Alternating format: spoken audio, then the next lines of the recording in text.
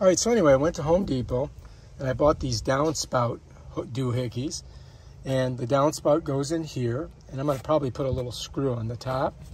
And then it has these little inserts that go just like this.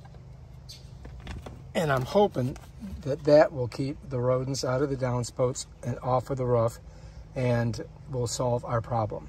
So we're gonna give it a try and see how she works. So we've been having a problem with rats getting in and I think they're coming up the downspout. So I bought this. It's two pieces. It's this front piece and the bottom piece and it fits on the end of your downspout.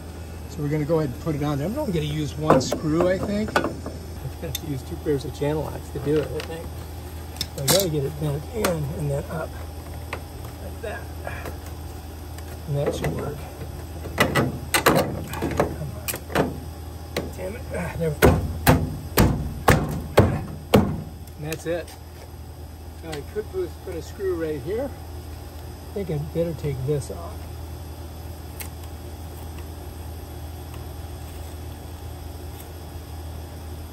All right, so that's one. And that will keep the rodents inside of there. That should work. All right, I gotta do like four or five more like that. All right, I think I'm gonna put one screw in this. See how we do.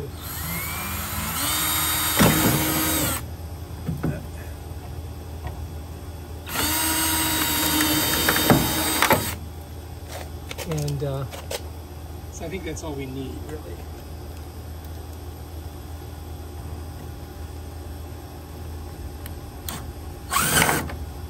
So that should that should keep it from coming off.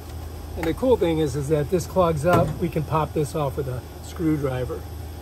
Let me see if I got. Uh, so this will come off here. Just gotta pop it. Oh, anyway, I'll show you later. so that should work. All right, nice. All right, if you like this video, subscribe to my channel and check out my other awesome videos and stuff like this. Peace out.